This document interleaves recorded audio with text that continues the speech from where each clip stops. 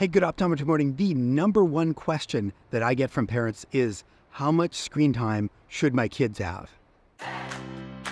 Well, today I'm going to tell you the science based research on how much screen time that your child should have. And make sure you stay tuned to the ending because I'm going to give you three important take home messages and a really, really cool feature that you want to use right away. Okay, so first of all, let's talk about what's harmful with screens for your children. So, number one, the big elephant in the room is blue light. So, let's talk about blue light and what's harmful and what's not harmful about blue light. And when we're talking about blue light, we're not talking about UV radiation or any damage like that. We're just talking about blue colored light. And the number one source of blue light in our lives is the sun. And that gives us, you know, probably a thousand or more times of blue light than any screen going to give you. And so, light, and specifically blue light, is very, very important in something called our circadian rhythm. And that's this cycle of our sleep and wake cycle. And the important thing about blue light, that's an important factor in keeping us awake and alert. It's a signal to tell you to wake up. Blue light isn't bad, it's a good thing for you to have in your life. So when you wake up in the morning and you're exposed to a lot of sunlight and the blue light from the sunlight, that's a signal for your brain to be alert and be awake and get up in the morning.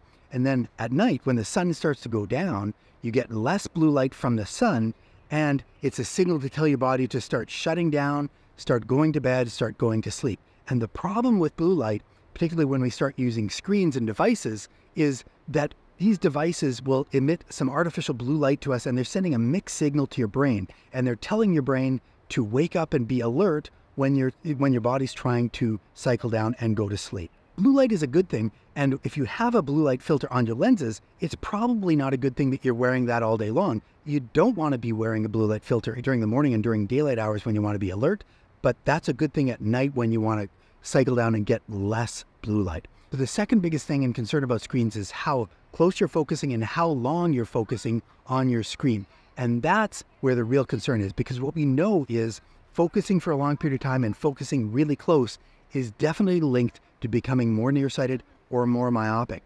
And that's not a good thing.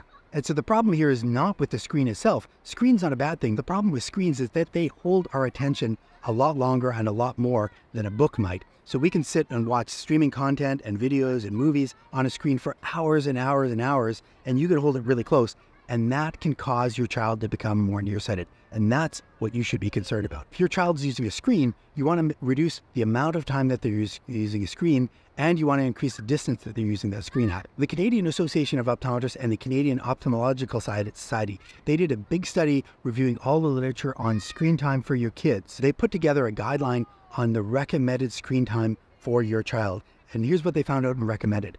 For children from zero to two years old, they recommended that there should be absolutely none, zero screen time for that age. There is absolutely no reason why a child under two years old should be using a screen of any type. For ages two to five years old, they recommended that the maximum amount of screen time that they should have is only an hour a day of screen time.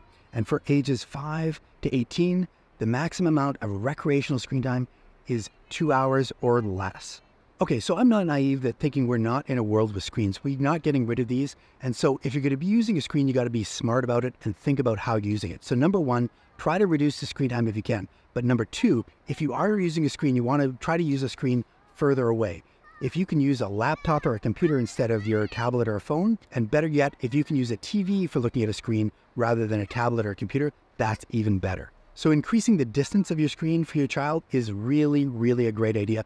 And I want to tell you about an awesome feature on the iPhone, the iOS 17. There's a new feature called screen distance. And, so if you go to settings and then you go under screen time, scroll down to the bottom, you'll see a section that says screen distance. You want to turn that on. And what that's going to do is if you using your screen closer than 30 centimeters away, it'll send you a signal to move your screen further away and you won't be able to view your content until you do so.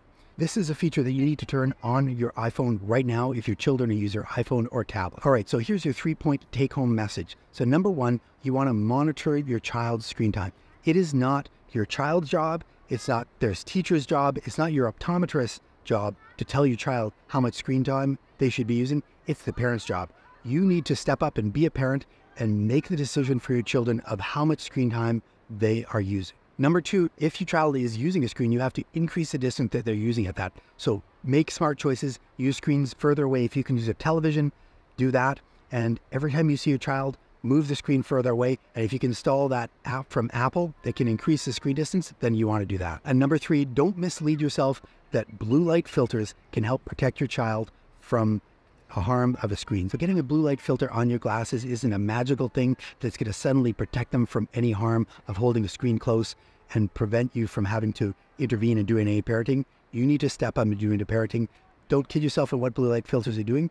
They're not a magical thing. Now, if you want to learn a few more things on how you can reduce myopia in a child, you should watch this video right here. And with that, have a great optometry day.